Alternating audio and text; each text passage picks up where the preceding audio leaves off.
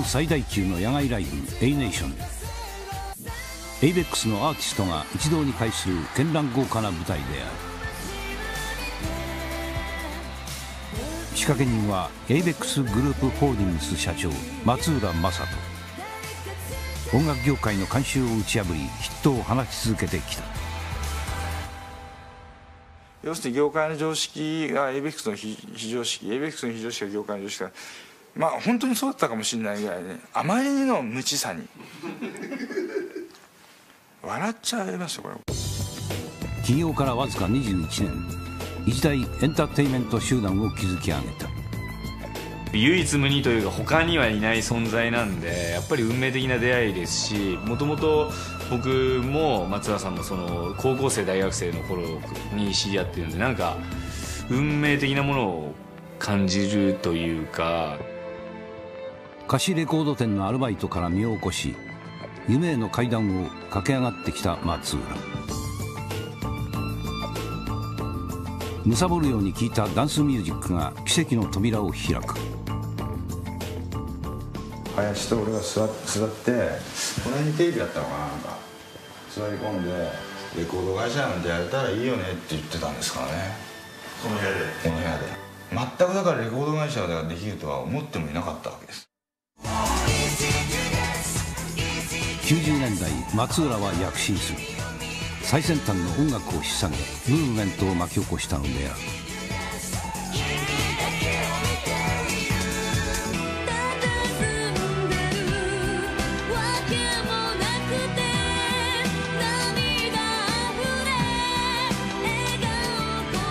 そのサウンドやダンスファッションまでも時代のトレンドとなった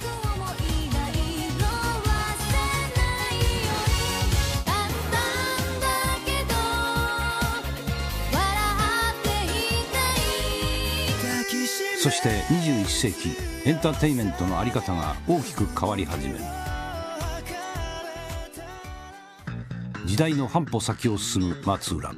その日常にカメラが迫った。仕事が遊びで遊びが仕事。見てるつもりが見られてんのかな。そういうことだ。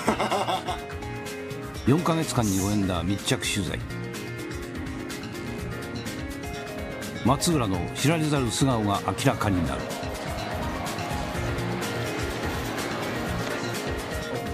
さらに健城徹との対談。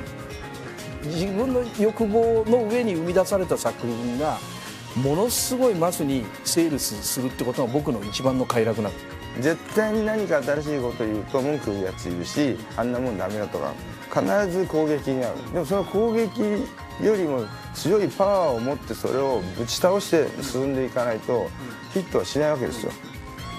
虚像と実像が交錯する世界松浦はその狭間で走り続ける。虚なのか実なのかわからない。わからなくなりましたね。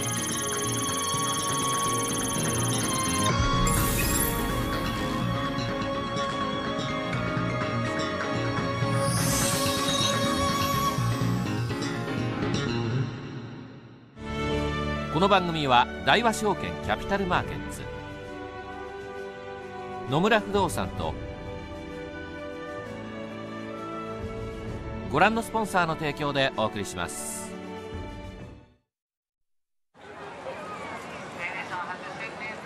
毎年8月日本最大級の野外ライブ A ネーションが行われる。この日を待ちわびたファンが巨大な会場に詰めかけた今日は誰見に来たの？くーちゃん。あゆです。くーちゃんです。あもうこのためにも仕事も頑張ってきたみたいな。何ヶ月も前から楽しみにして。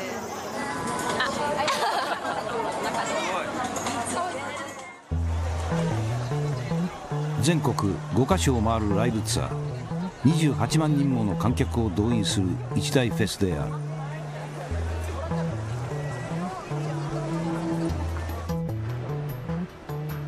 8時間に及ぶライブ。開演直後松浦が入った。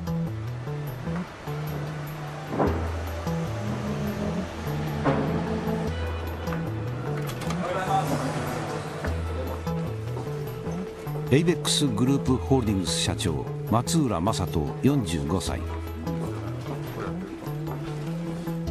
斬新な経営スタイルで音楽業界に革新をもたらした若きカリスマである。起業からわずか21年日本を代表する総合エンターテインメント企業を作り上げた。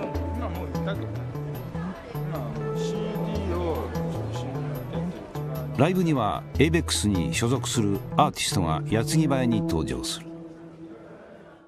まあ、経営のまあ理念とか理念みたいな哲学みたいなものってありますかっていうとさよくさその、まあ、ちゃんとした会社の社長がさ「なんとかです」とかって言う言うじゃないですか。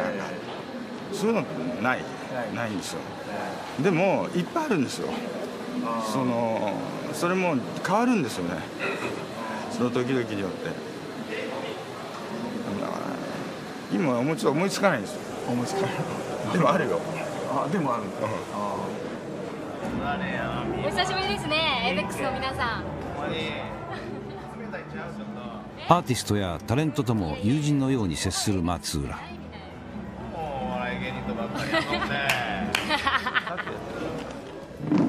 ょっと違うの太いですね。太いですね。反逆の一言はない。の言わないっぱなし。まあバラエティーとしてはやっぱりこれも彼独自のスタイルである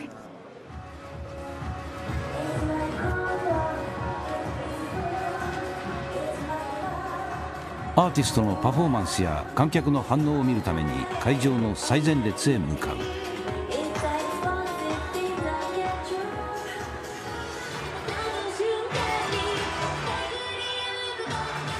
するとステージに接近しカメラを向け始めた。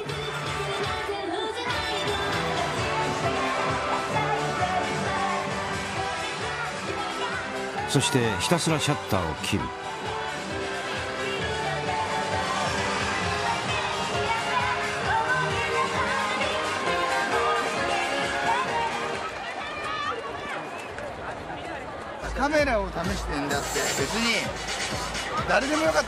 で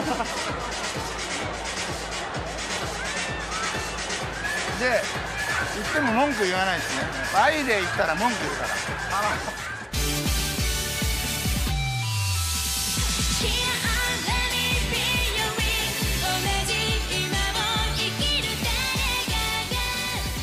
ガールネクストドア。今松浦がプロデュースを手掛けているユニットである。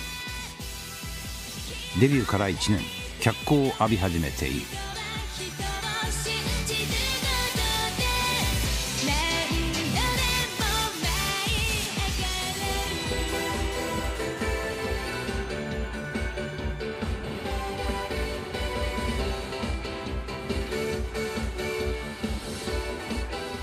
あのね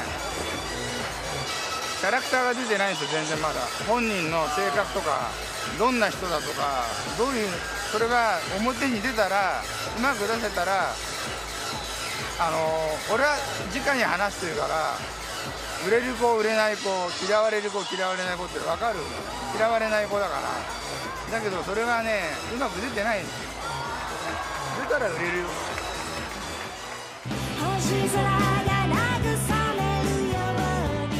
この夏出演したのは総勢38組。その誰もがヒットチャートを賑わすトップアーティストばかりである。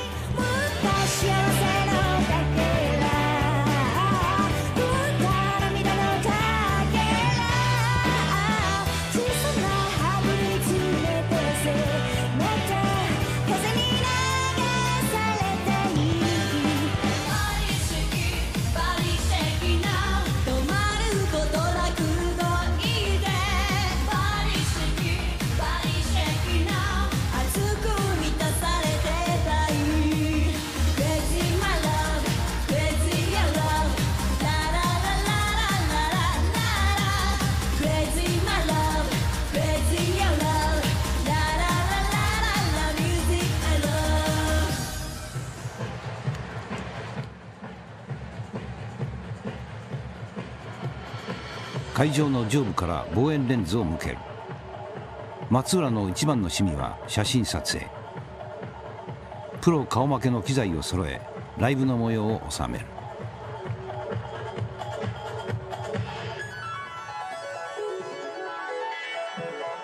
コンサートって普通写真撮れないじゃないですか。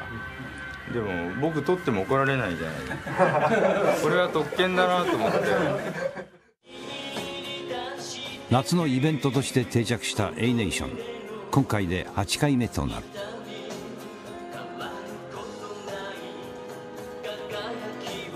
コンサートは全然みんなどう思ってるか知らないけど全然儲からないんですよ。この入場料かける人数と制作費出演費含めたらもう全然スポンサーがついてやっとちょこっと赤字にはならないかなぐらいですね。儲けようと思ったら本当にそれぞれのアーティストを回した方が全然まだでもそれでもそんなに儲かんない。も儲かんないとか儲かるってあんま考えてやってるわけじゃないんですけど今はもう A ネーションっていうとこういうもんだってもうみんな知ってるからまあ一つは夏休み中土日がなくなるんですけどね。でもまあお祭りっぽくていいかなと。失礼します。おはようございます。いきなりなんかすっごいですよ。おはようございます。いきなりすっごい人登場で。す よ超ギラギラしてる。今日酔っ払ってる酔っ払ってるもうすでに全然大丈夫じゃないですか。もっと派手でもいいじゃないですか。どこを見ていいかわからない格好ですね。いいですよ。どこ見ても。いいですよ。超ギラギラしてる。真っ青だ。モームスには見えないようにしますから。モームスを消してますからね。ここカットしちゃダメだよ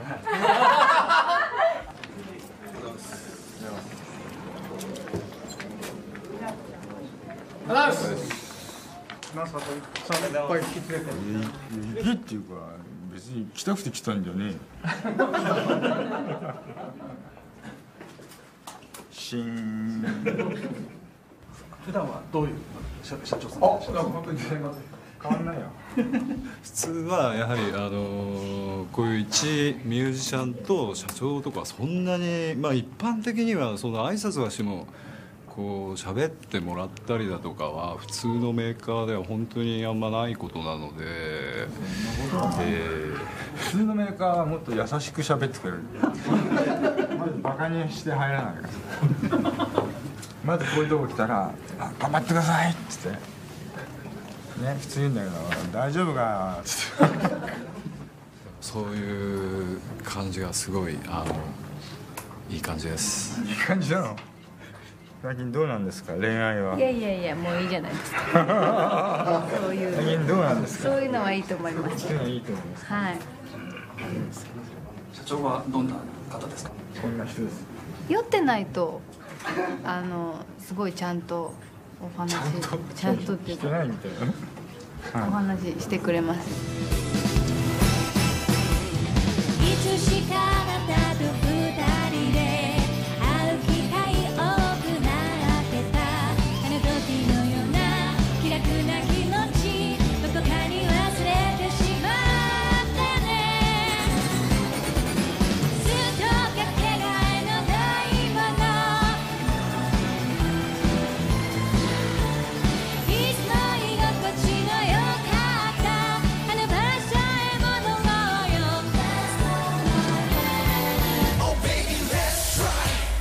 心に One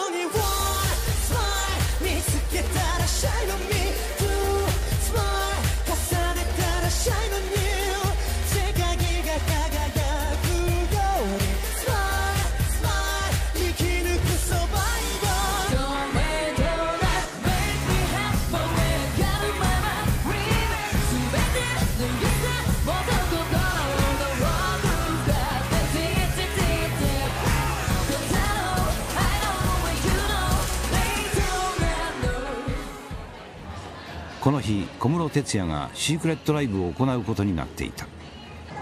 判決から3ヶ月。松浦が再起のチャンスを与えたのである。力入れ直せばいいと思ってるけど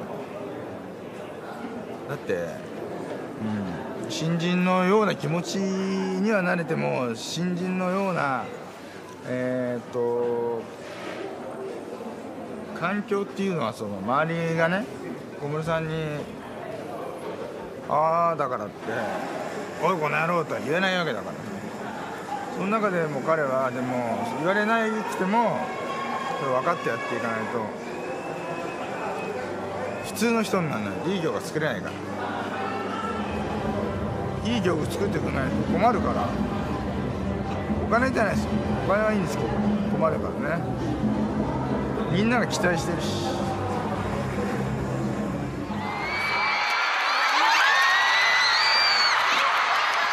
ステージに小室が立った。その姿にファンがどよめく。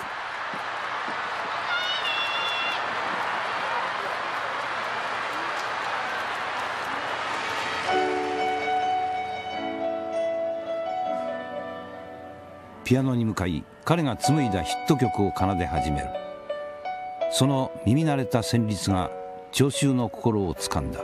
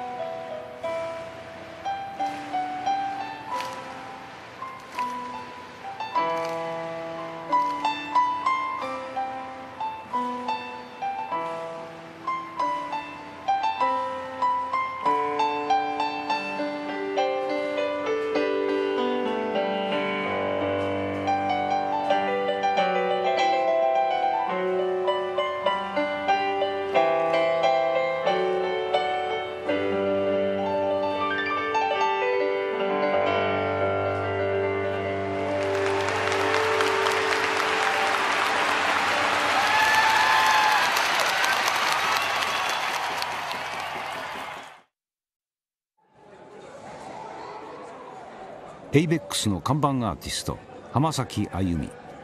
デビューから11年不動の地位に君臨している。松浦はデビュー前の浜崎に目を留め一から育て上げた。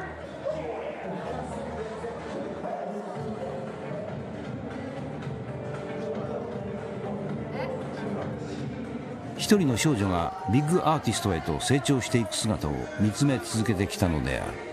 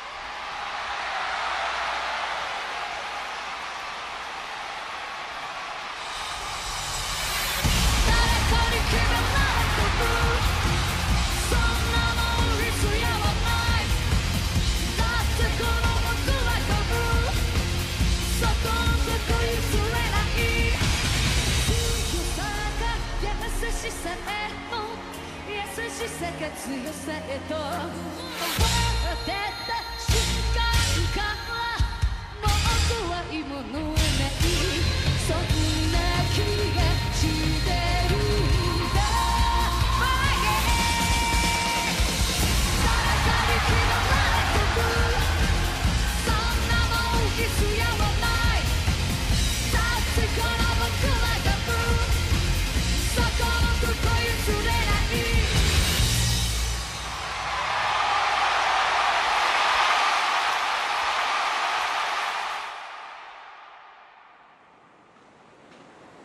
ヶ月にわたり全国5都市で行われた A ネーション最終公演の後毎年恒例の打ち上げが始まった。テレビカメラが初めてその内部を映し出す。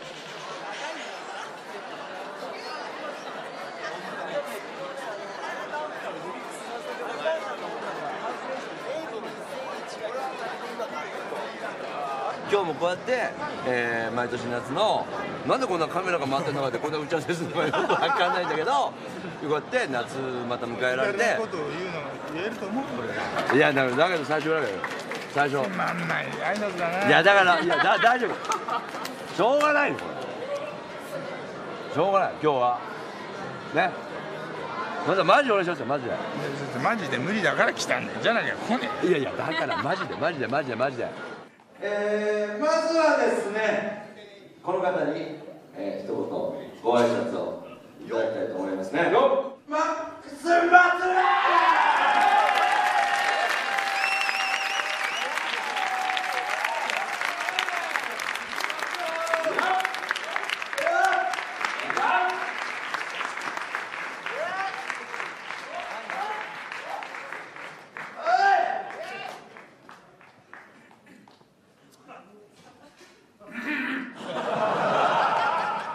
最初のうちは何をエイベックスをしだすんだっていう前って言ったんで、まあ、こういう形で、まあ、形としてというか、まあ、あの A ネーションっていうものをですね、まああのまあ、歴史に残るかどうか別にしても、まあえーみんなの、えー心の中というか、えー名前としてですね残っていくっていうのはすごい素晴らしいことだなと。えー、エイベックスはですねあの本当変わった会社で、えーこう企企業規模の割に目立っちゃうんでもう出るという代理っていうのは叩かれまくってますけど、まあ、叩かれても叩かれても出てくるっていうねそういう精神であのこれからもやっていきたいと思いますんで、えーなんだよ、何がめちゃくちゃや言う大体さっきからしゃべりたいにしてんねえか。ほんとしゃべり嫌いなんだよ。乾杯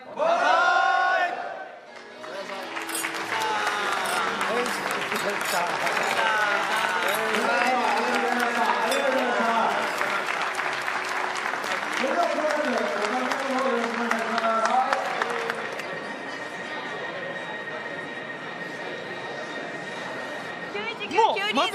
浦社長がアリーナに来ます。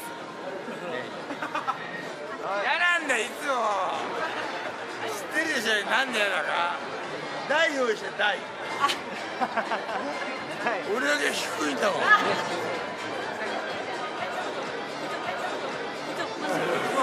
タオルありがとうございます。タオルを持ってくれてありがとうございます。よろしくお願いします松浦の夏が終わった。何を何を進めようとしても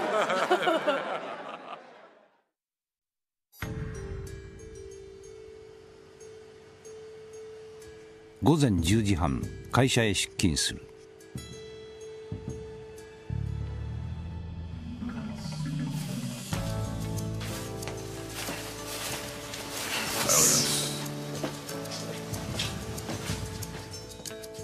夜の会食が多い松浦。睡眠時間は平均34時間だというどう。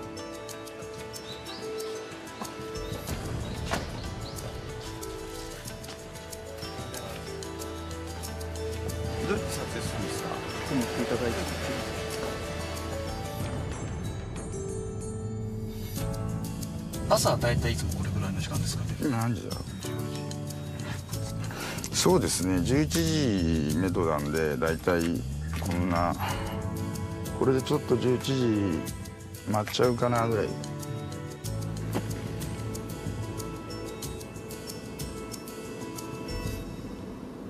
僕のこと知らない人は全然違う風に印象を持ってるみたいですね。で会う前とあ会う前に考えてた印象ってあるでしょ？えありますね。あまりこう秘密のベールに隠されてるみたいな。何にも隠してないよね俺。こわもてのイメージがあるのかあると思いますよ。それは便利だからでもどちらかというとこわもては。そうですね。怖いと思われてようがって便利な時もあるじゃないですか。東京港区にあるエイベックス本社。社員は総勢1400人に上る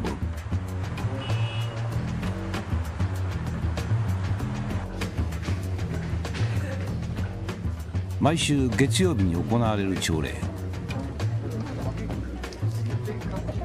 松浦の発言から1週間が始まる。それでは朝礼を始めます。えー前も空いてますので。松浦社長。お願いします。おはようございます。まあ今、えー音楽業界その不況で CD が売れない売れないって言ってますけど売れないんですけど売れないからってじゃあそのままにしておくわけにもいかないし何か違うものが何か必ず出てくるわけでじゃなきゃ音楽がなくなっちゃうわけですから。その何がそうなるかは今は分かりませんけどその何かを誰が見つけるかということが非常に大切で。これ続けてるなんか理由ってあるんですか？うーん、まあ、少なくとも全員はいないけどその何人かはいるわけでなんでだろうななんかなんか嫌いなんだけどなんかこういうのないと本当になんか誰にも思わなくなっちゃうのかなっていう気がして。まあいいやあの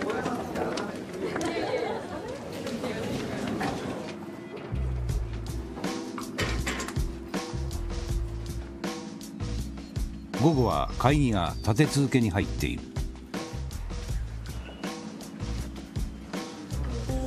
会社のトップとしてありとあらゆる事業に目を光らせる松浦。えー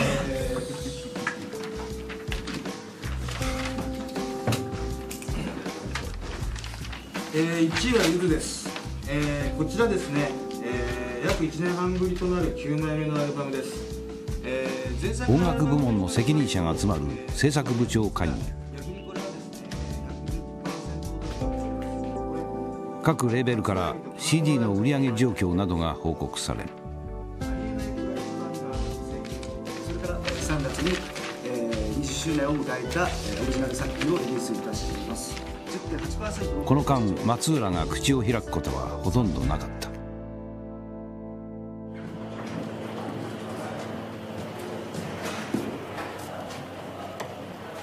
どこまでやるの？業務会まで入ってくるの？常務会 そうなんですか社長全然あまり発言されなかったですけどすることないです報告だから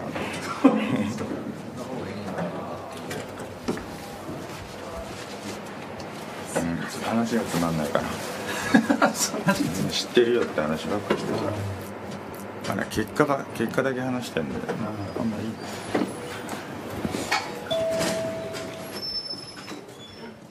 プロジェクトここまでは野村不動産。あ何をやってるか知ってますよ。はい大和証券キャピタルマーケッツとご覧のスポンサーの提供でお送りしました。なんとも古臭い。ここからはご覧のスポンサーの提供でお送りします。これこっちはもうあとは制作部署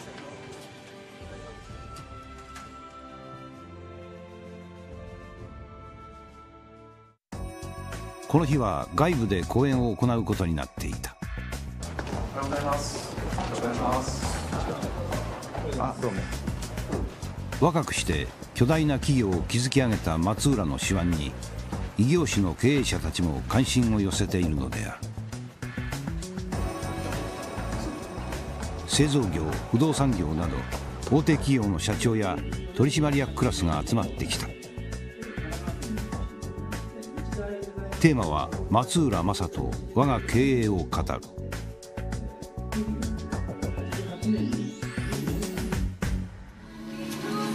苦手なんですよこれ。そうですかそんなこっちよりメディアの人に対して俺が我が経営の語れるわけはない。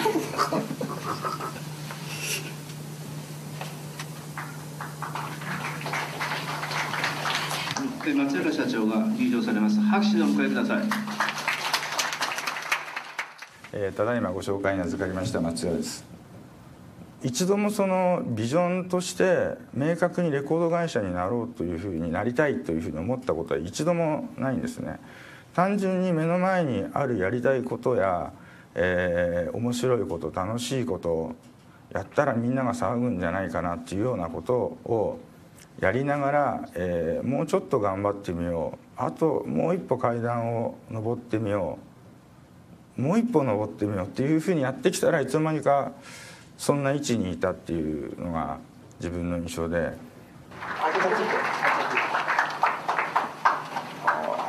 疲れました。疲れ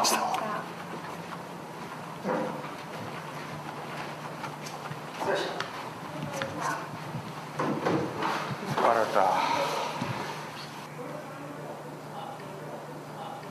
やっぱ照れ屋なんだなって思うね。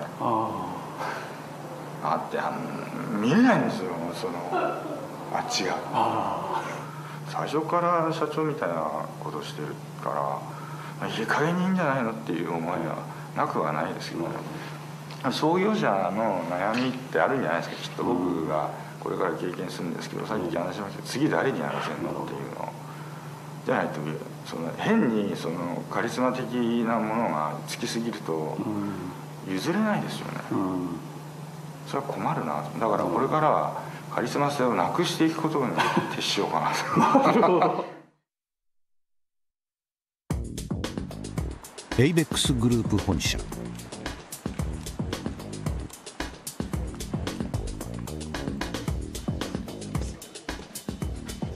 この奥に社長室がある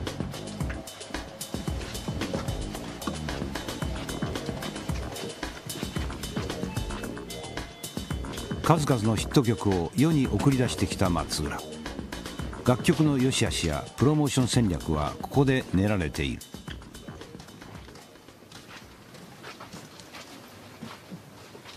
大体ここにいます。お客さん来るとそっち行きますこれすごいですねこのシステム。これ画面並べてるただ楽なんですよネットにしてもいろいろなものを調べていく時にいちいち閉じないで全部並べられるんで全てその今音源とか画像とかのチェックも全部ネットだったりするんで。社員もめったに入ることのない松浦だけの空間。まるで秘密基地のような部屋で一日の大半を過ごす。本当はいつもこれメールで来るんですけど今日はたまたま CD で来てるんで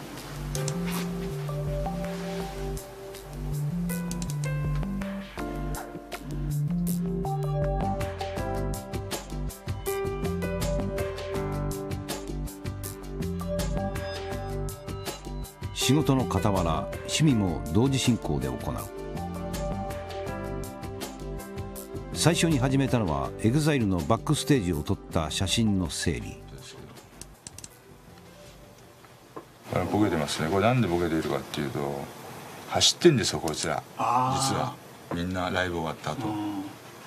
なんだっつったらクールダウンなんだって。クールダウン走るんですか、うん、だから、えーびっくりしちゃってそれ聞いて。すげえなと思って。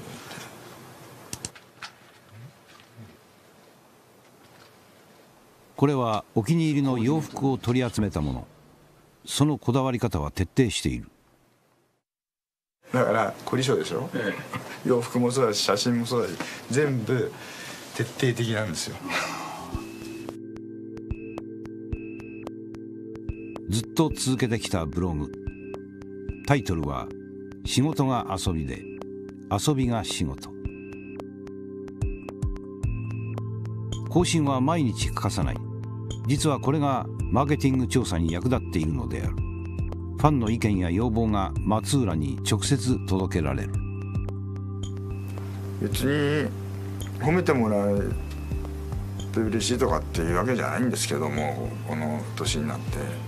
どちらかというと厳しい意見の方がね役には立つんで東進議のファンの意見はすごいやっぱり参考になることが多かったりするし愛もそうだしいろんな部分であの誰かのライブはこうであそこはもっとこうなのがいいんじゃねえかってくればすぐ転送ですよその担当に。結構だからここでしょここでのことは全部全て本当だとは思いませんけどね。すごい丁寧にものすごい長文とか送ってくる人もいますからあの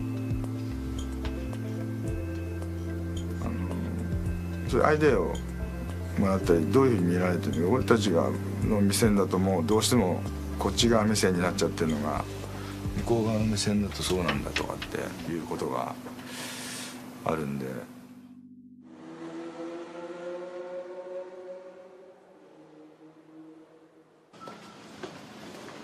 夜仕事の後は社員や気の置けない仲間たちと居酒屋で過ごす。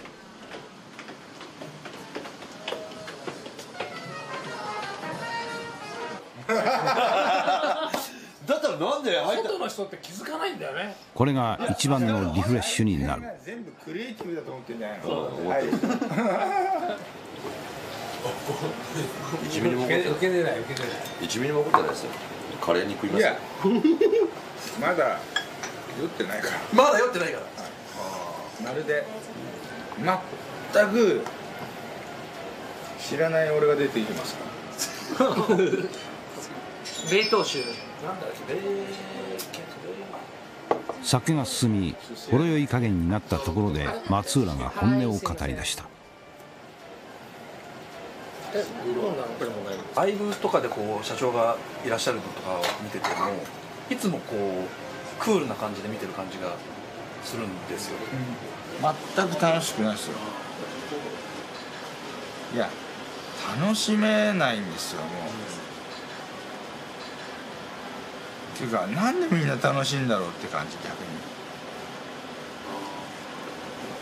ライブを見るために洋服を買ったり、その日のために準備をしたりしてい来ている人の気持ちがもう分からなくなってしまっているっていう、まあ、よくないことなんですけど、いや正直分からないんですよ僕にとってはなんか同じ同じっていうかなんだろうなどこで力を抜くとか力をもうなんかいろんなこと全てが分かっているからだから結局なんかうん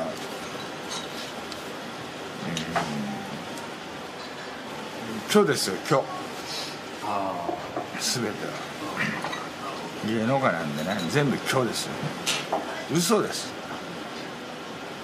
ほぼ今日で今日じゃみんな今日でしょ？だって。本当のこと言ってんの？今。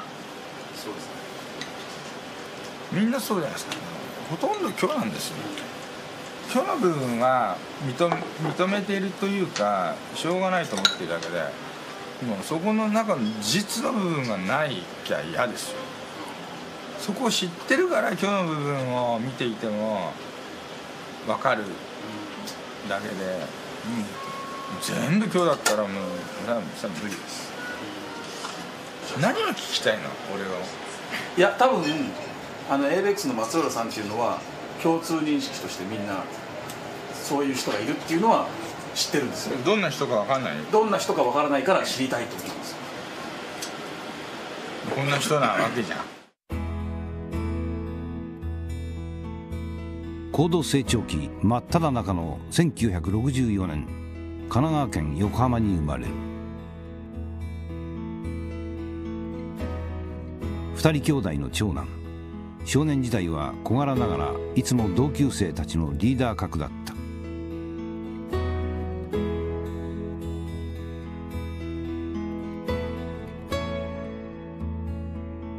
そんな松浦を両親は手塩にかけて育て上げたという。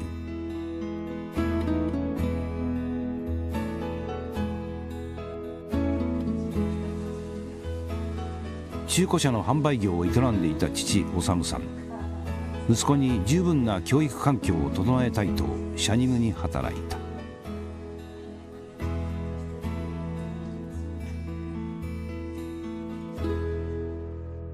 小教育はねあの塾っていう塾はもう幼稚園の頃から行かせろ行かせろ。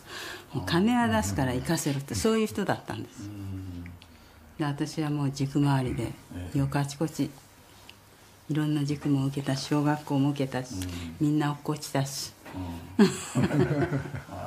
自分が両親があの5歳と8歳でいないんですよ。で自分が苦労して夜の大学まで行ったんでこれは子供には必ず大学を、うん。出したいなと、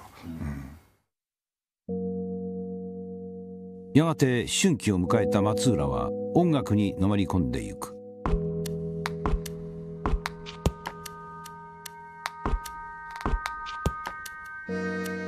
80年代のアイドル隆盛期。歌謡曲に熱中しドーナツ版を買い集めた。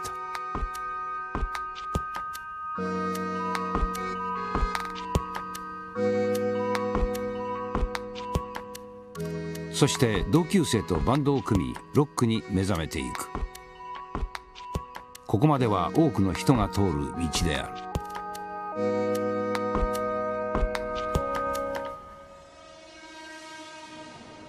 だが大学生になった松浦に人生を変える転機が訪れる。友人が貸してくれたテープに入っていたのはまだあまり知られていないダンスミュージック。すぐにのめり込んだ。全ての今までの僕の音楽というものの概念考え方がひっくり返すようなそれでも完全に今まで聴いていた音楽とは180度逆の方向を向いてで、まあ、熱中しやすいんでもうその手の音楽は他には何があるんだどういうのがあるんだどういうのがあるんだってどんどんどんどんどんどんどん広げてただでダンスミュージックを聴きたいと始めたのは貸しレコード店のアルバイトマイナーな音楽を買い集め店に並べたまあ、まずそのオーナーを口説いて、えーとにかくこれからダンスミュージックだで、まあ、実際そうなるんだけどね誰もそんなこと思ってなかったし僕もそんな自信があったわけじゃなくて自分が好きだから買いたいからそのオーナーにそう言ったら毎月 2, 万円から3万円毎週くれるのね現金を。それを持って僕は渋谷とか新宿とかにレコードを買いに行ってで、えーどんどんどんどん店の人たちと仲良くなることによっていいものを仕入れるようになる。松浦は店の売り上げを伸ばすために斬新なアイデアを次々と打ち出していく。入荷したレコードを聴き解説を手書きで添える。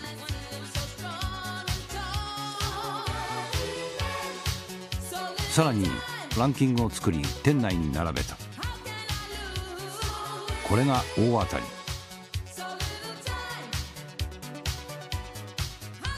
流行り物に敏感な若い客が我先にと借りていった。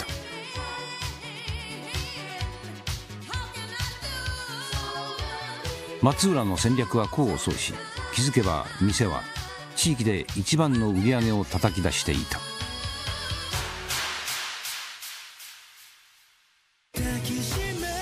EXILE のリーダー HIRO。松浦の高校の後輩であり貸しレコード店の常連客だった。あの当時からあのすごい音楽の知識がすごかったんでもう僕ら高校生でいつも友達とかと言ってる時には本当松浦さんの情報がすごいありがたかったっていうのはすごいあの印象に残ってますね。僕らもだからそういうえっ、となんだろうそういう音楽が聴ける場所だったりあのそういう情報が、えー、と仕入れられる場所っていうのにはすごいあの探してたんですけどやっぱりそこの松浦さんのお店が一番あの詳しかったしすごい結構最先端な情報がいっぱい入ってたんであの本当にその貸しレコの店員さんというよりはこいろいろ教えてくれるあの音楽のすごい知識があるすごい大先輩っていうそういうイメージではありましたけどはい。東京町田エイベックスはこの町の一角で産声を上げた貸しレコード店での実績を買われた松浦は知人から会社の共同経営を持ちかけられる。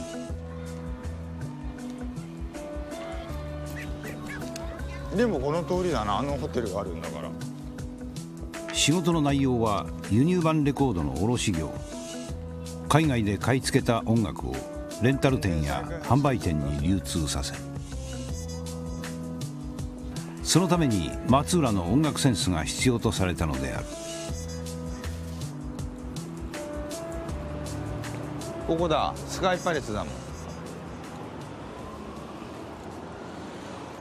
18年か9年来たやつですね。だから正直こんな入り口だったっけっていう印象ですもん。数名の社員で始まった ABEX 最初に構えた本社がこのマンションの6階にあった。不思議だなと思って見てんじゃないの？なんでこんな白っちゃけちゃうんだろう？久しぶりにその部屋を訪ねる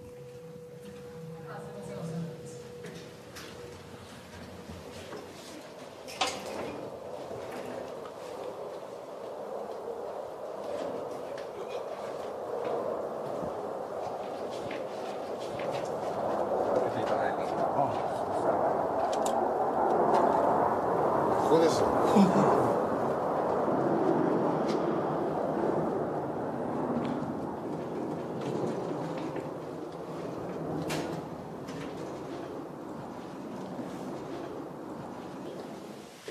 うん懐かしいけど狭いですね。世界中から送られてくるレコードや CD その仕分け作業に毎日没頭した。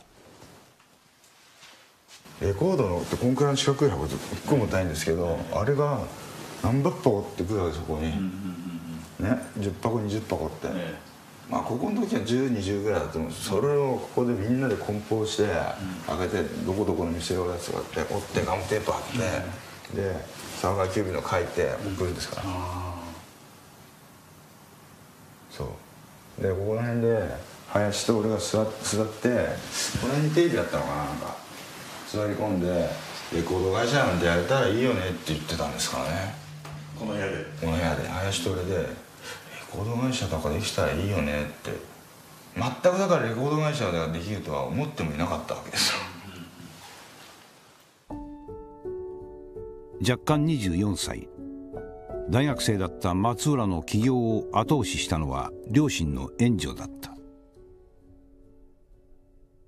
よく大学の時にお金みんな出したなって言われるけど、そうそうかなと逆に、うん。自分の息子が信頼できればもちろん自分の目が届く商売ですからね見てればね、ダメだったらすぐやめれやめらへんだしね。まあ。ご存知のようにご存知のようにねこのまま結構うまく来ちゃったから、うん。これが何でもなければこんな話になってないですよね。今のね。そんなこといくらもあるかわかんないですよね、出してもまだこっちも若かったし、まだ40今の正人ぐらい？正人20若かったから別に失敗してもまだ商売が、たその後また結構出した時には私はすごい嫌だったわよ、今度失敗したらうちまで持っていかれちゃうと思ったけど、えここ？周囲の不安をよそに松浦率いる ABEX は急成長を遂げる。そして本社は次第に大きくなっていった。暮らしの友町田営業所になってますよ。地下にね焼肉屋があったの。ここですね。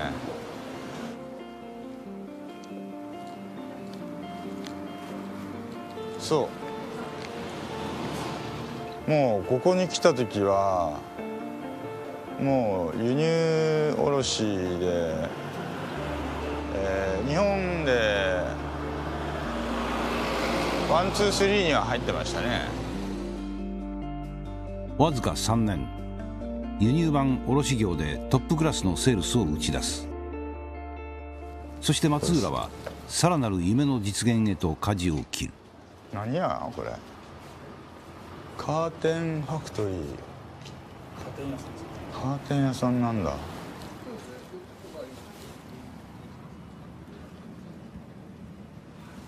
そうそうここここです。ここが3番目の3番目、ええ。別にカーテン買いに来たわけじゃないんですけど。この場所に移転した時すでに社員は100名を超えていた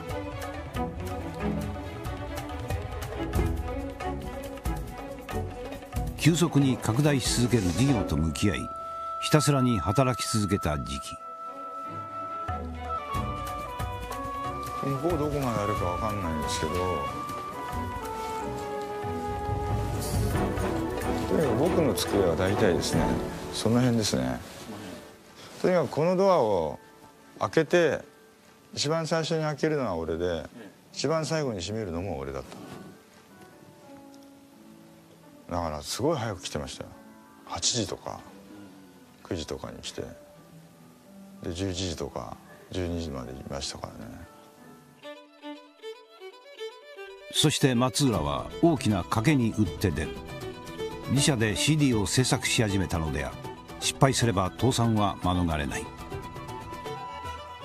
スーパーユーロビートシリーズ。海外のダンスミュージックを集めたコンピレーションアルバムである。これが予想以上の反響を呼んだ。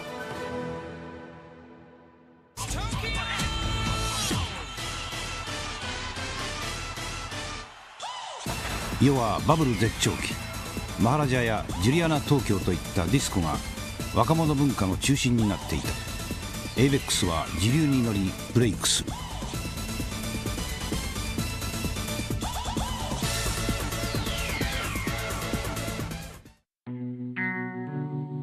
松浦はダンスブームの仕掛け人として一躍注目を集める。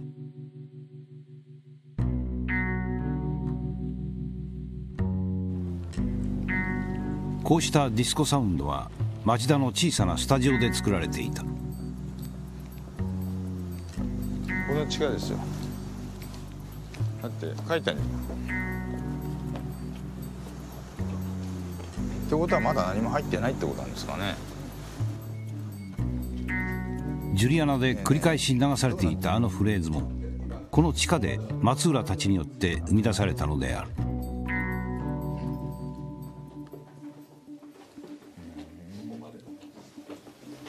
ここにねスタジオがあったんですよ。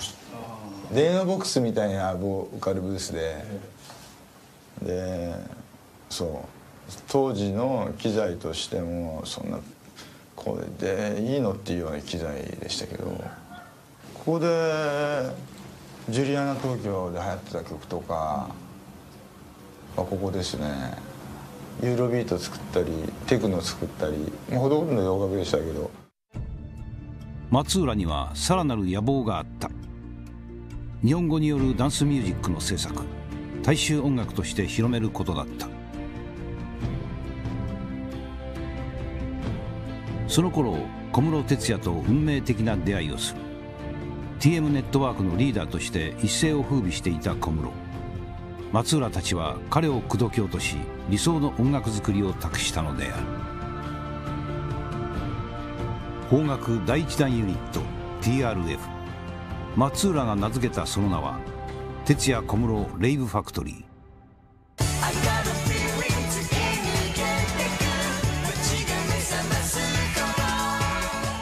ボーカルダンサー DJ という画期的な編成で話題を呼んだ TRF 一気にスターダムを駆け上がっていった。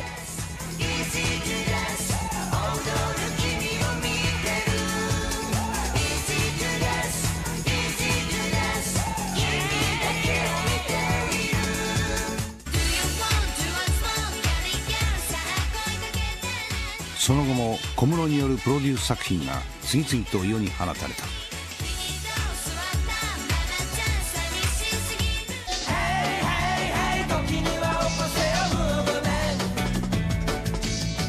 アーティストたちは小室ファミリーと呼ばれファッションまでも注目されるようになった。こうして90年代の一大ムーブメントを巻き起こしたのである。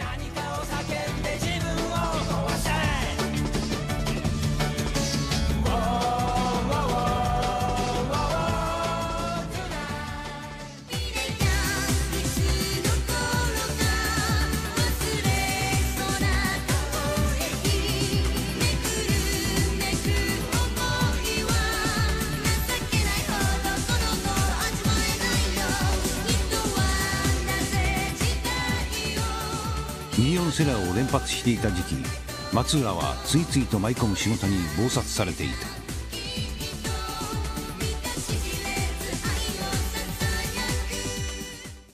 とにかく小室さんが望むことを、えー実行して実現するのが自分の仕事だと割り切っていましたし、えーまあそれが何て言うんだろうな。もうそれが本当に自分のまあ使命みたいな感じで動いていて夜中の何時だろうと呼び出されても行っていたしどんな時にトラブルが発生するか分かんない。それどうしてもいけないような状態でも、まあ、駆けつけなきゃいけないっていうようななんだろう。もうとにかく何を置いてもその小室さんが、えー、一番っていう感じで。富と名声を得次第に巨大な存在になっていた小室哲哉。やがて松浦のコントロールが効かない状態へと陥ってゆく。無理難題を押し付け横暴な態度を取る小室。そしてエイベックスとの決別の時を迎えた。僕も僕でもういいんじゃないと。もうゼロからやり直そうよって。でもその時小室さんが全部いなくなったらうち売り上げ7割減るんですよ。で上場控えてたんですよ。それでも切ったんですよ小室さんを。切ったというより小室さん側の提案喧嘩しちゃったもんだから全部引き上げるよと。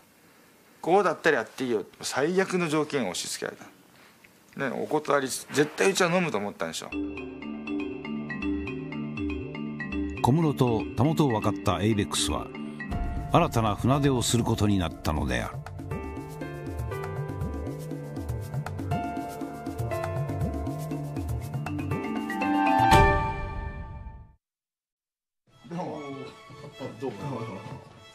出版業界の風雲児幻冬舎社長の健城徹松浦とは旧知の間柄である。ああやってくれこうやって松浦じゃなかったら絶対やんないよ俺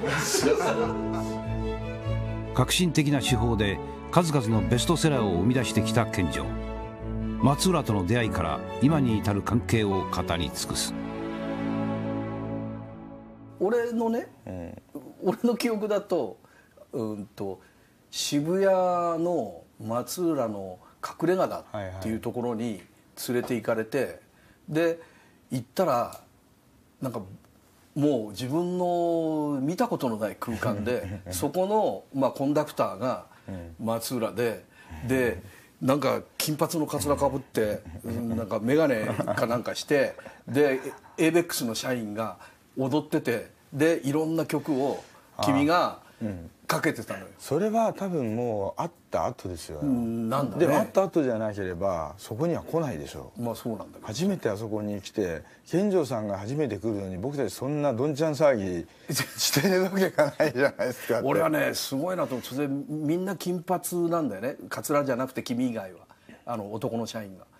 でそれが全部 ABEX の社員だって聞いて俺びっくりしたもんあのそういう会社でした当時。今もその名残ありますけど多分それは何かの、まあハロウィンじゃないと思いますけど何かのパーティーなんですよきっと、誕生日が何だかわからないけど、それの、えー余興をやってるたんだと思いますよ、毎日金髪かぶってないですからね。いやだからさお俺はあれはさ軽いショックを受けてさああこういうふうにしてだけどどんどんヒットを作っているんだと思って感動したんだよ、うん、あのあれはその昼間の仕事の鬱憤話でしかないんですけどね。あそうなんだ、僕にとっては、うん。でも見る人にとってはまあいろんな見方がされる確かにそのあれって正確に言うと、えー渋谷区東なんですよそう東だった、えーの交番のそばなんですけど、まあカラオケボックスみたいなところでただそこにそのなんかこういう仕事してるから証明を入れたりしてでどうですね。ちょうどあのーどっか行って飲んだりするとちょっと見られたり指をさされたりしたような時期でしたから、あまり誰にもその何にも言われない場所で飲むスペースが欲しかったんですよね、うん。それでねあれを持ってたんですけど、持ってたんだね。でもこれだけの幅をね、まあ、昼間きっちり仕事をしてたのかもしれないけれども、うん、と夜ああいうふうにどんちゃん騒ぎしてでそっから生まれてくるものってのはいっぱいあると思うんだよね。でああやっぱりこれだけの幅を持ってないとヒットなんて生まれてこないんだなと思ってちょっとショックだったので僕は昔からそのギャップ？そのそうそうこの振りギャップがあった方がいい振り幅、この絵がどんだけでかいかっていうことが非常にその重要で、どんだけ振り幅があっても真ん中で重心が取れてれば成立するわけじゃないですか,、だからそこが、まあ、崩れちゃうと倒れちゃうわけいですけど。やでもいいセリフだね。だからね両方に振り切ってるっていう時に一番それはやっぱり見えないものであっても心の中だから風が起こってるわけですよ、ね、だから熱が起こったりエネルギーが出たりするわけですよ。そこに人は引きつけられる。だからその人の魅力とかエロチズムっていうのはそういうことだと思うんで、心が動いてない人ってやっぱり人を引きつけられないんですよ、こっちに触れてこっちに触れてで真ん中でなんとか重心を取ってるっていう時に人は一番エロチックなんですよ、それがない人って少なくともクリエイティブな仕事はできないですよ、うん。まあ、つまらないんですよね、うん。要するにこういう動きしかできない人っていうのは。人がついてこないし、何かを生み出す原動力にならないし、だからね俺はね不安でいっぱいだと俺だってさ不安でいっぱいなんだから常に。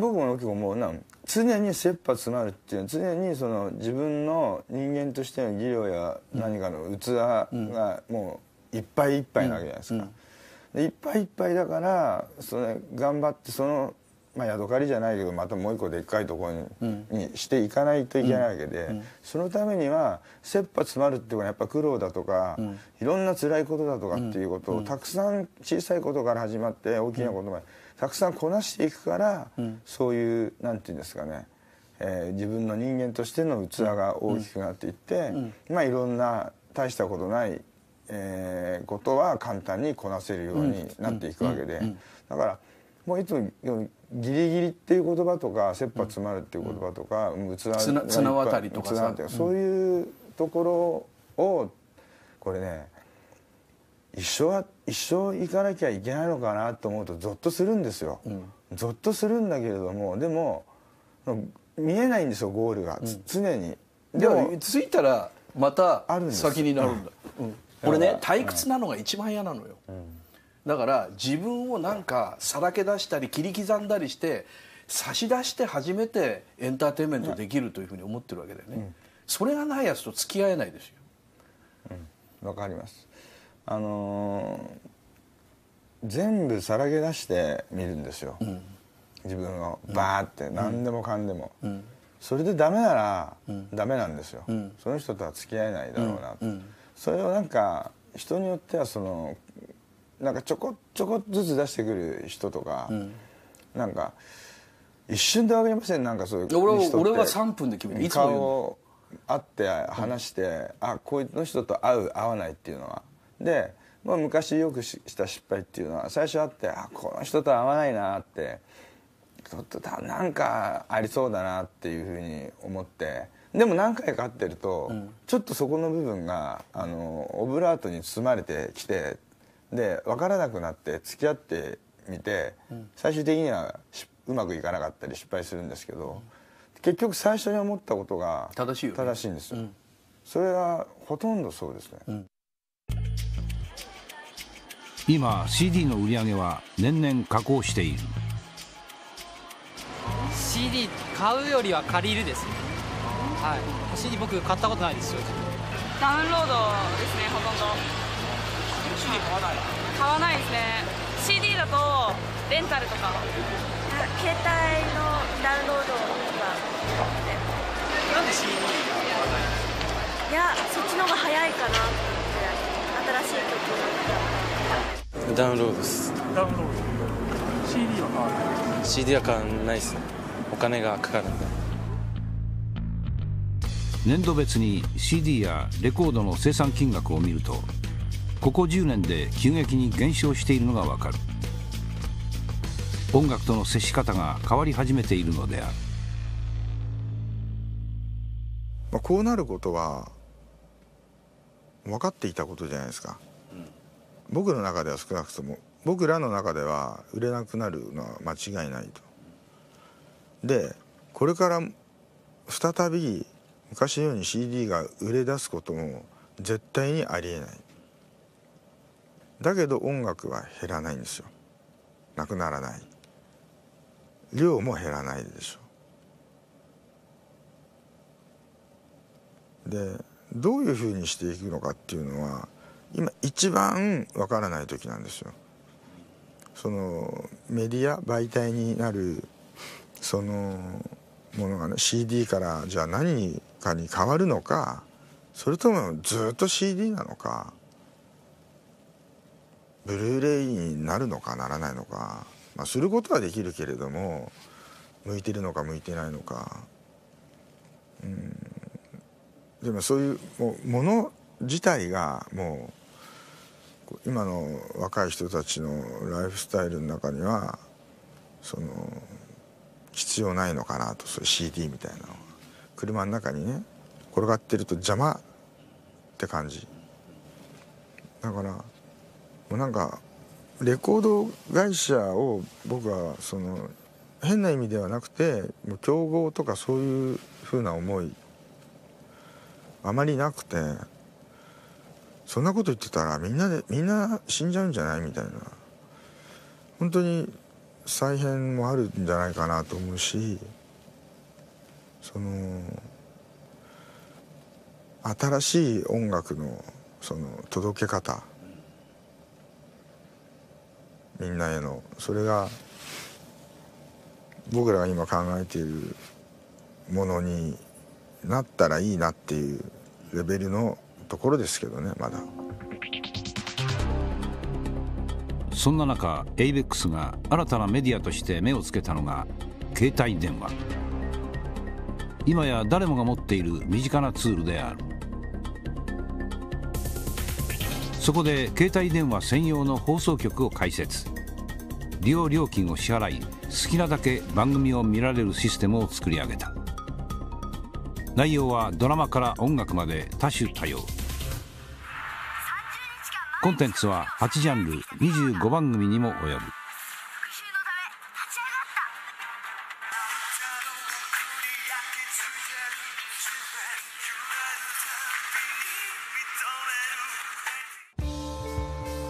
さらに市場を東アジアへ拡大。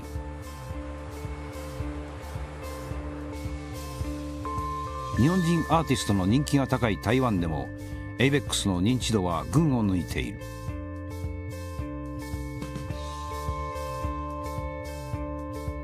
CD 店の棚の一角には専用コーナーがありブルーのジャケットで埋め尽くされているのである。ABEX 台湾。このほか香港北京にも会社を設立し市場拡大を狙っているのである。日本人アーティストの CD 販売だけではなく現地アーティストの発掘日本への逆輸入も視野に入れているという。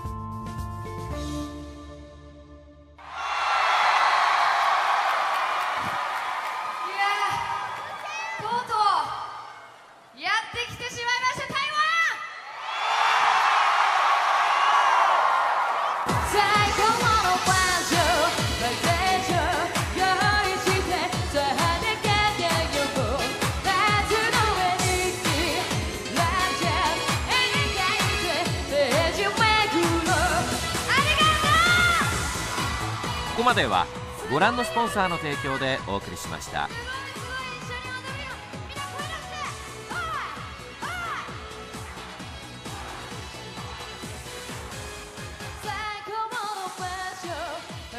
こからはクモングループと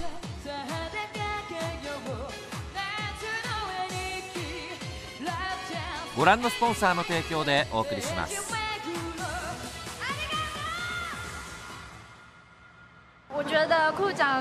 最棒的地方的话，是他在演唱会上跟歌迷的互动都非常非常的好。我觉得这一点就是非常照顾歌迷。但是就之前只能用 DVD 看到库米本人，但是现在终于就是能在现场刚刚看到他那种感觉，整个就很棒。讲还要再来哦，我们会等你，你一定要来哦。東京原宿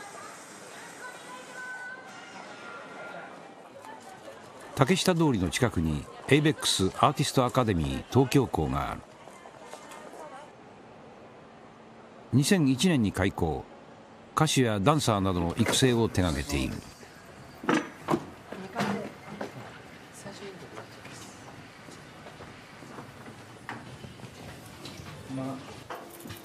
こはねあのー要するにあの特待生ですよアカデミーには一般の受講生と授業料を免除される特待生がいる。最上階の教室では選ばれた若者たちがレッスンに励んでいた。ABEX のアーティストになりたいと願う彼ら。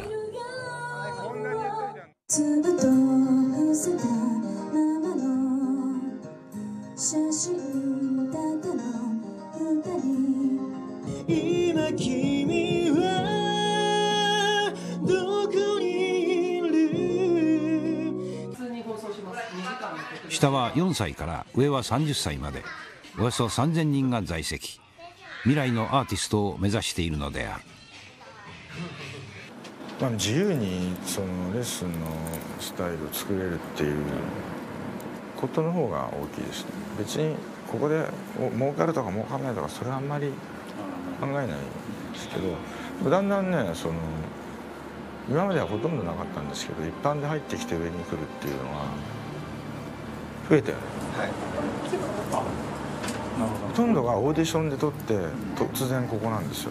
でもちゃんと授業料払ってきてる人が上がってくるのが前に比べて全然増えましたね。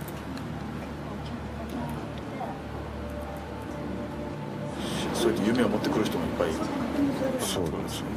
だからやっぱり3階を目指す階段を一歩ずつ登らなきゃいけない。です300の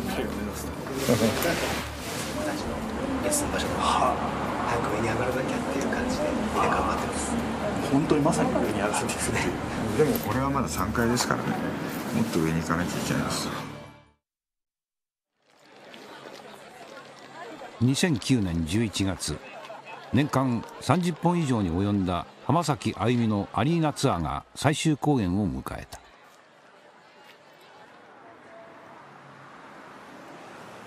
延べおよそ30万人を動員。絶大な影響力を持つ女王浜崎のライブには熱狂的なファンが集まる。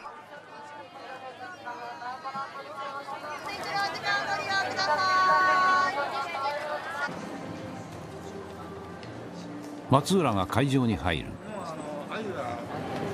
出ちゃってステステージの下に。もう台下入っちゃってるんで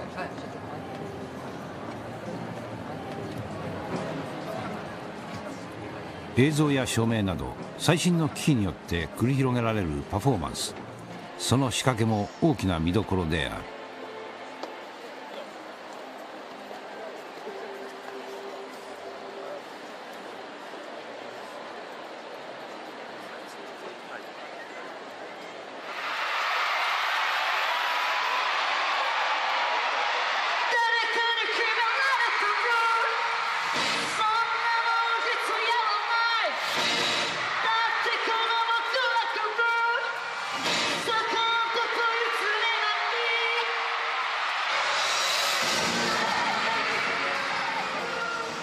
から11年。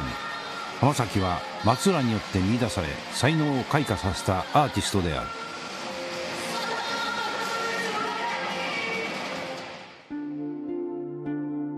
小室哲哉と決別し新たなスターの発掘に全力を注いでいた松浦。そんな時一人の少女と出会う。あのベルファーレの従業員の紹介ですね。でカラオケ屋行ってでうん歌を歌ってみみたいな感じ。まあ16歳ぐらいだったと思うんですけどそんなにうまくはなかったんですけどね。なんかでもビジュアル的にはなんか文句のつけようがないなって思っていて。でまあ当時まだ事務所に前の事務所に入っていて。でそこを辞めてでうちに来て1年ぐらいはレッスンだなんだかんだ。そして浜崎あゆみはファーストシングル「ポーカーフェイス」でデビューする。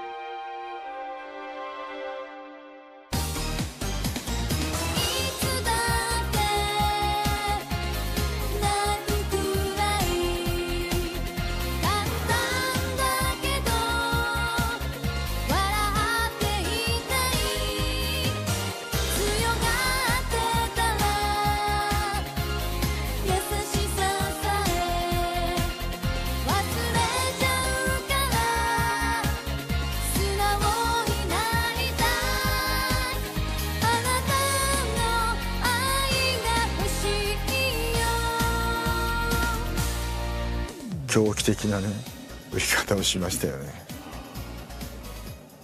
自分でそのワンボックスカーに浜崎のポスターを貼って自分でそのワゴンのねものすごいでっかいスピーカーがついてる車あるじゃないですか。ああいうの友達が持ってたんで借りてきてそのレコード屋さんにあるそのこういうパネルをベタベタ貼ってガンガンに浜崎の音をかけてでセンター街走ってましたもん。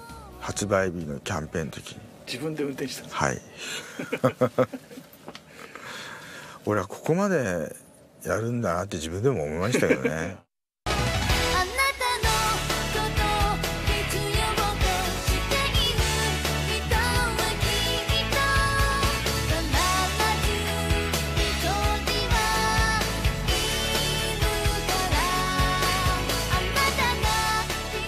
その後浜崎は破竹の勢いでヒット曲を連発。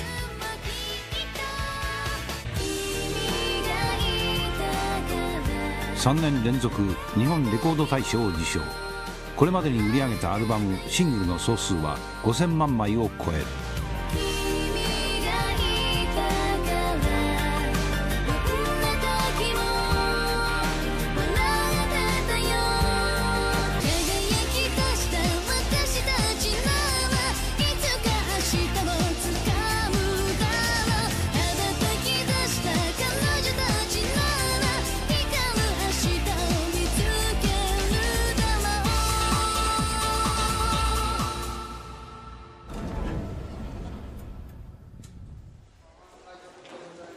アリーナツアー最終公演の後打ち上げが行われていた。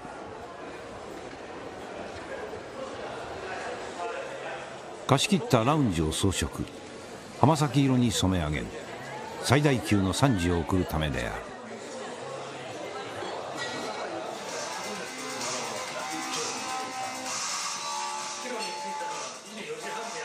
松浦は華やかなパーティー会場から離れ個室にいた。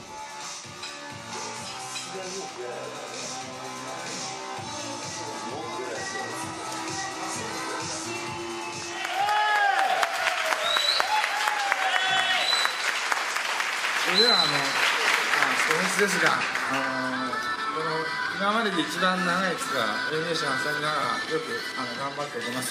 途中あの辛いこともいっぱいあったと思いますがなんか業界を見た時にですねこの10年間トップでいるっていう人はねいないんですよ。本当にいない、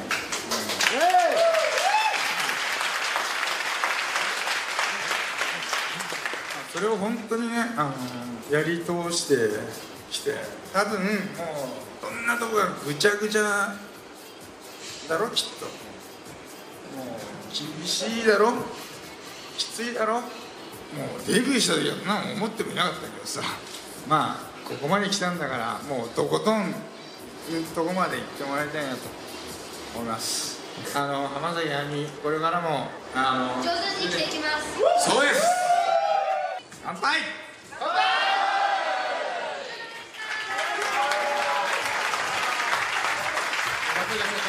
どうもありがとうございました。苦楽を共にしてきた2人。浜崎は松浦のことをこう評している「パート・オブ・ミーパート・オブ・ユー」まあ幸せになってもらいたいよね。ここまでやっぱり ABEX に関わっている人を、幸せにしてくれた人だしまあ悪くや苦労もさせた人だけどまあいずれにしても ABEX っていう会社にとってのものすごいな刺激を与えた人だから。まああの10年ちょっと一緒にやってきて2人にしかわからないことがあるんですよそれはあのわからないんで誰にもだから。そこはもう分かってもらいたいとも思わないし。分かるのはあの子が分かればいいし。あの子は全部分かってんだよ。なぜ俺がここにいてなぜあそこで喋ってんの。なぜ今ここにいるかも。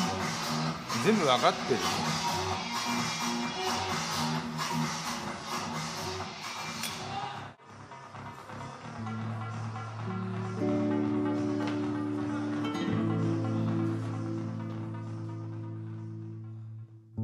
幻冬舎社長健城徹との対談ものづくりの本質へと迫っていく。絶対に何か新しいこと言うと文句言うやついるし、あんなもんダメだとか、必ず攻撃にある、でもその攻撃よりも強いパワーを持ってそれをぶち倒して進んでいかないとヒットはしないわけですよ、自分のつ欲望の果てに作ったものをどんなことがあってもマスにセールさせるんだっていうこの意志というかさ決意はすごいよな。俺いつも舌を巻くよ。俺あそこまでしないよ。いやそれはもうあのーそうですね。なんかいつもなんかレコード屋の時からそうですけどなんでこんなに必死なんだろうって。それも最初アルバイトの貸しレコードの頃は自分の店でもないわけですから、なんで俺はこの店のためにこんなに一生懸命自分の時間も削って寝る時間も惜しんで働いているんだろうって全く意味がわからない時期もありましたよ、でも君がこの作品をヒットさせるんだって言った時のもうとんでもない人への人を巻き込んでいく吸引力っての？それはブワーッと回るからもうこう触ればもう血は出るし 巻き込まれたくないねできればね。だけどそこはもうえ？そこまでやったらルール違反だよとかっていうルールなんかねえよそんなことにっていう君の声が聞こえるわけで常に、それは君欲望に忠実なものすごい君のいあの俺は、うん、特徴だと思うよ、これだけ自分の作品を売るってことに対して欲望に忠実にやる人はいないよ。いやあの否定しないですし、あの否定はしないです。でそれが一番顕著だったのはやっぱり浜崎になっちゃうんですけれど、やっぱりそこの成功事例があって、でエイベックスが、えっとまあ、大きくなっていってでここまで来ちゃうと、その強引さっていうものも消費者見抜いちゃうんですよ、ああいうの時とは違って。だから非常にだから僕が強引にやればやるほど逆効果も現れていくんですね、日本で初めてのテレビ制作会社っていうのを作った、えーテレビマンユニオンっていう会社を作った萩本春彦さんっていう人がいるんですよ。その人がもう亡くなっちゃったけど残した言葉で、えー、全ての新しいもの全ての美しいもの全ての素晴らしいものはたった一人の人間の熱狂から始まるって言ってんだよね。俺はね君こそ本当にその言葉に当てはまるやつだと思うよ。君の熱狂から全ては始まってんだよ。で ABEX はここまで来たのよ。だから社長やってんのは当たり前のことだしそれで辛いのも当たり前のことだしそっからしか何も起こらないですよ。いやーここまであの褒められると。褒めてないよ。迷惑だって言ってる。いやねまああのなんか自分でうんそうなのかなって勘違いを起こしそうな。勘違いっていうか でもね僕は何かのプロジェクトやるときに一一人の松浦を入れろっていうふうに言うんだよ。その松浦を入れろっていうのは俺だけは分かってるわけでだから一人の熱狂を持ってる人間を入れろってことですよ。狂気じみたやつを入れろっていうことですよ。その一人の狂気じみたやつがいなかったらそのプロジェクトは成功しないと思ってる。だから全部そうです。映画だって。わかります。表現するものに関わるビジネスは全部そうです。よ一人の狂気じみたやつを入れない限りダメなんですよ。アベレージでやったってそれからみんなの合意でやったって素晴らしいもの新しいもの美しいものはできないのよ。だから一人の松浦を入れろっていうのは俺だけしか分かんない。なんだろうって。いやあの自分で言うのも変ですけど、あんまりいないと思いますよ。そうだよな。だって俺は変な人ばっかり見てきたのよ。もうそれはもうもう本当にびっくりするよ。だけどそいつらこそが本当に素晴らしいコンテンツを作る新しい作品を作る美しいものを作ると思うからどんな苦労もうんいとわないでやってきたわけでその変な人をいっぱい見てきたその人たち変な人こそが黄金のコンテンツを作る。それが俺が一番満足することなんだっていうそれを知ってるから全部やってきた。その俺が「お前が一番変だよ」って言ってるんだから変なんだようん変なんでしょうね。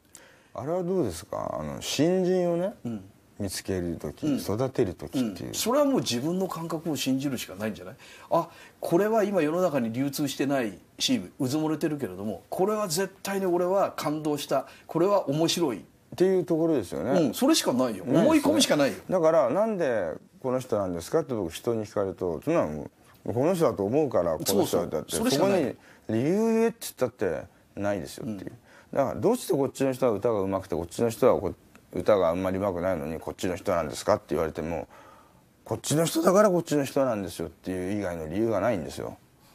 僕にとってはこっちがいいと思うっていうだけで。だからいいと思うものじゃないと僕は一生懸命売る気にはとてもなれない、絶対なれないですね、だからうちの社員とかではあのうちの会社っていうのはやっぱりどっかトップダウン的なところが昔からあるから上からアーティストが怒ってくるスタイルなんですよ、僕たちが決めてやれっておことして、でぼ僕らが指示して、でも他のレコード会社から来た人間っていうのは自分たちが見つけてき自分が見つけてきて育てて売ることに喜びを持っている人がうちの会社に来ると上からアーティストが降りてくるから、全然あのなんていうんですかその自分が思ってたのと違うっていう人がいるんですよたまに、でもじゃあその人に何が見つけられるの、うんって言った時に何も見つけられないんですよ。そうだよ。だから君いや君まあ君でいいよ。君が圧倒的に優れてるんだからそれはトップたまたまそれがトップにいるってだけだよ。だからトップダウンとは形としてはそうだけどトップダウンとはまた違うん僕でも全然じゃあ下の下っていうか社員が見つけてきたアーティストをやりたいって言った時にダメって言ったことは一度もない。そりゃそうでしょうね。一度もないけれどもその代わりに一度も大ヒットしたこともない、でもこれからもっと「あこいつはすげえな」っていう社員が現れるかもしれないよ。本当それが出てきてくれないと、うん。僕の夢、うん。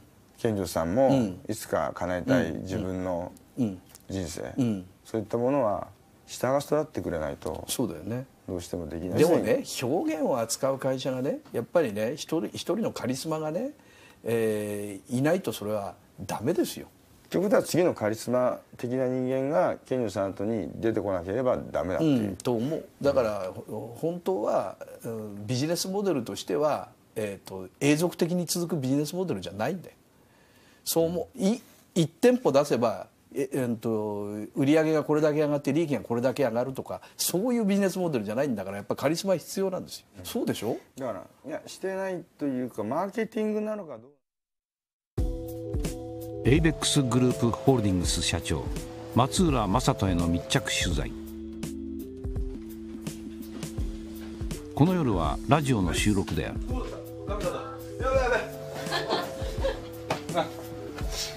ちょっと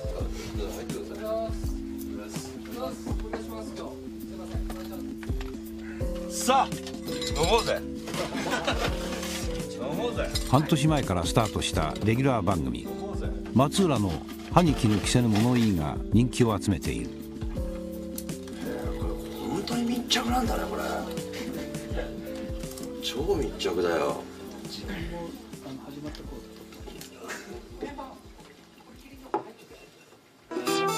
どうも。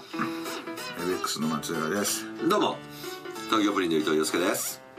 ネット版仕事が遊びで遊びが仕事。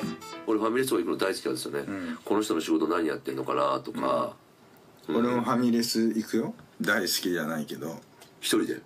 一人はねえな。あだけど、まあ、変な話こうやって今もテレビのカメラとか回ってんじゃないですか。でそうすると松浦正人のねやっぱり顔とはやっぱり知る人がどんどんどんどん増えてくるでしょ、でそうするとやっぱりそういうことしにくくなってきますよね。でもねえー、っと3日4日前ね、また同じ六本木の吉野家に行ったよ。一人。マジで、えーその時はじゃあ波食った？波いや梅雨だつ梅雨梅雨梅雨だくだけだね 梅雨だく。うんうん。梅雨だくの卵新香全部食った？全部食った？でその時他に客いました？いた。でその他の客は松浦正人であることに気づきました？気づかない。でねこれ気づいてるか気づいてないかでも分かんないじゃないですか。分かんないけど。だって鬼がわーって食ってる時にちらっと向こうが見てるかもしれないし、あのねえーっと1週間ぐらい前からあの松浦さん鳥茂一人で行ったでしょ？なんで知ってんの 鳥茂一人で行ったでしょ。いいじゃんだって焼き鳥屋のカウンターでさ。いやいや違う何？じゃあ別にいいよ。俺それは悪いって全然言ってないじゃないですか、そうじゃなくてやっぱりあの辛いだろうなっちゅう、まあ、話。だからそれこそ秋葉原行ってプラプラしたいだろうし本当は表参道行ってプラプラしたいだろうし。したいしたいけど、道に面したカフェでカップル眺めながらどんな付き合いしてんのかなってその想像も膨らませたいだろうけど。もりが見られてんのかな。そういうことだ。そうなんだ。よ。お疲れ様です。お疲れ様です。面白かったっす。いい自分では全くそうですか？納得できないですけどね。あのー言いたいこと言ってるからじゃないですか。なるほどあのほとんどカットされちゃうんですけどね。放送禁止用語ばっか。日々多忙な松浦にも大切な家族がいる。妻と3人の子供たち。亜紀さんとは6年前に結婚した。教育熱心だと思います。多分そのえー、その受験とかもう全部主人がなんか、まあ、準備してくれたっていうかいろいろ調べてきてくれたりして私は言われたことをやるだけとかなんか幼児教室も探してきてくれたり習い事娘の習い事とかもピアノとかそういうのも先生を探してきてくれたりとか、うん、全部主人がしてます。良い面は、えー真面目ですねやっぱり。仕事に対してとか真面目すぎてきっと悩むこととかも多いんやろうなって思ったりうんまあよ、まあ、優しいとこかな。だうんあとなんか面倒見がいいいろんな人を、まあよいうん、悪い面は酔っ払いすぎるとこですかね。ちょっとこう悩んでんのかなみたいな時とかってあったりします？あります。なんか暗い。まあもともと暗いですけどもっと暗い。みたいな。なんか元気ないなーみたいな時とかありますけどまあ、うん、別に何にも聞かないです。聞いてもわからないんで。特になんかどうしたのみたいなことは特に言わず？私あんま言わないですね。言っても「いや実はこうこうこうで」って言われたとこで私何も答えられないんで聞かない。そっと見守ってます。社長という重責を担う松浦の姿を垣間見た日があった。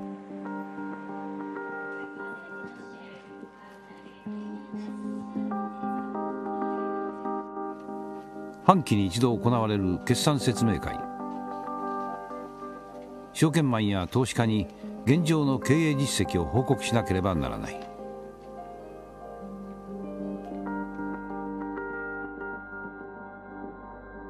えーそれではただいまより2010年3月期中間決算説明会を開催させていただきます。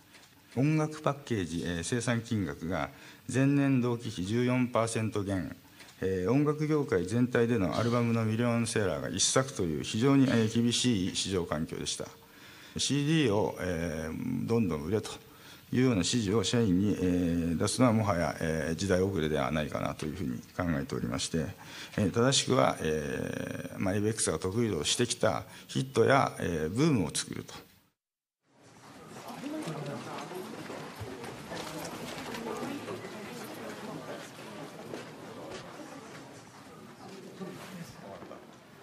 だんだんだんだん人のこと裸の王様にしようとしていくわけですよ周りは一生懸命。まあ裸の王様にしようとしてるかしてるというよりはまあ社長だからっていうそれに僕は逆に引っかかってたまるもんかっていうことを思っていないと本当になっちゃいますしやっぱり会社1,000人超えると一番末端の声は入ってこないですからいやもしかしたら僕もどっかで裸なのかもしれないんですよ。裸の王様で自分は裸だと思ってないですから。だから僕ももしかしたらどっかの部分では裸の王様の部分がきっとあるかもしれない。でもあったとしてもそれをまあその考えっていうかそうじゃないかそうなのか自分はそうなのかそうじゃないのか考えるのと考えないんじゃ全然違うと思うんで少なくともそうだとしても裸の王様だとしても、まあ、パンツぐらい履いてるような ぐらいでは痛いなと。最悪なって思って。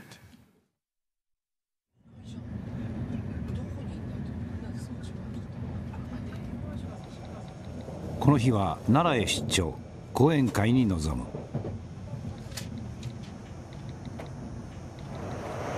それは僕よりお金持ちもいっぱいいるしかっこいい人もいっぱいいるし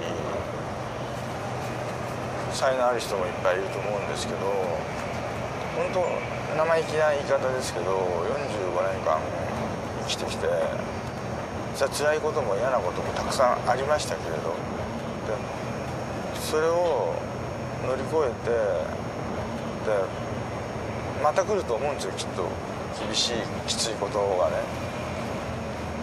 それでもなんかやっぱり自分に生まれ変わりたいと思っちゃうんですよね。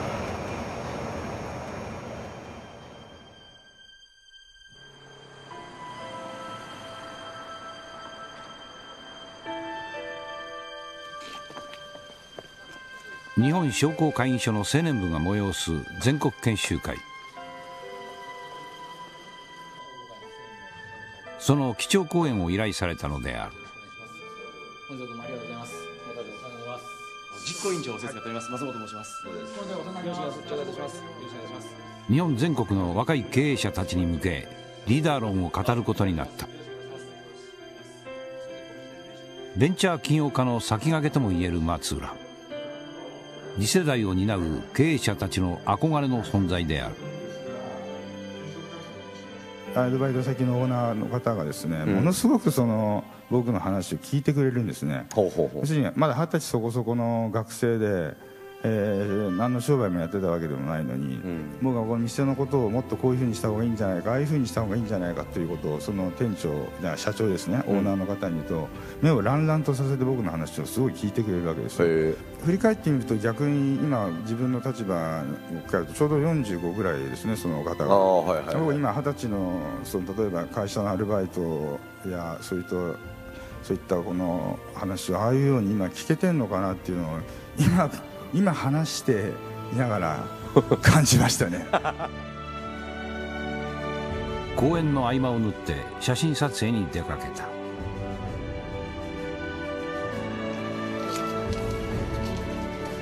松浦は常にカメラを持ち歩いている。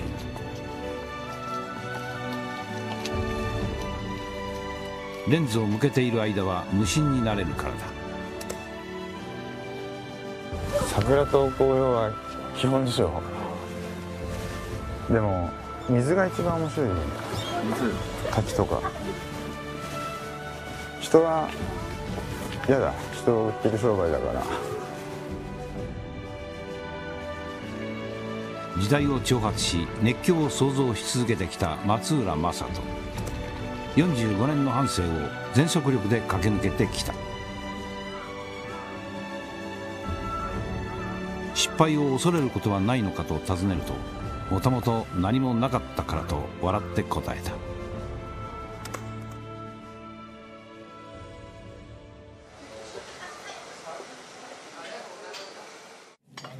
密着取材最終日撮影スタッフと打ち上げを行った。松浦は泥酔した自分の姿もカメラの前にさらけ出したいという。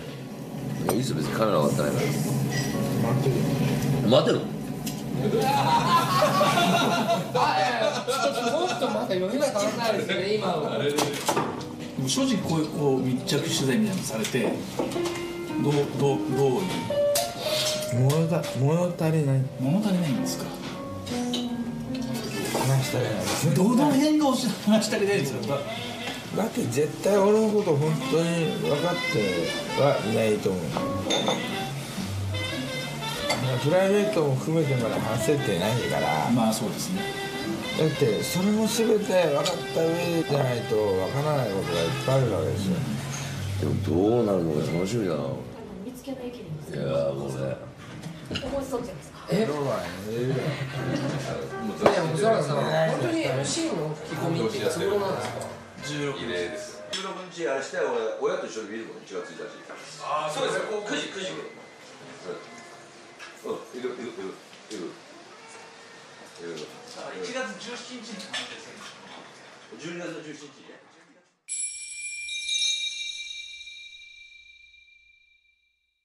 やっぱこう出会いってすごい財産だと思うんでたくさんの出会いを本当しっかり大切にしてあの自分のこう思ったことを一生懸命あの追求していけば、えーきっとこうそれがあの自分の夢が叶わなくてもまた新しい可能性を生んでくれると思うんでやっぱりこう一生懸命何事にもこうあのやる姿っていうことが絶対生きてる意味をあの確実にあの将来感じさせてくれると思うんであの一生懸命自分の思いをこうあの突き詰めて、えー、と思いやりを持って出会いを大切に、えー頑張ってください。したら必ず、えー自分の思った、えーところに行き着くようなそういう気がするんではい頑張ってください。とにかく自分の好きなものがあったら誰にも負けないほどそれを好きになって調べまくって時間を使いまくって熱中できるっていうのは本当大学生ぐらいの時の時間しかないんで本当その時に本当に自分の好きなものをとことん突き詰めるっていうのが僕は一番うん将来に役に立つことになるんじゃないのかなと。ほとんど僕は勉強しないで楽器聴いたり音楽聴いたりっていうことに熱中していたんで、まあ、その熱中度合いがやっぱり尋常じゃなかったんで、まあ、エベックスみたいな会社ができた。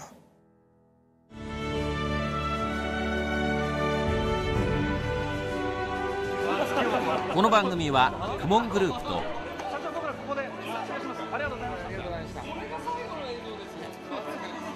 ご覧のスポンサーの提供でお送りしました。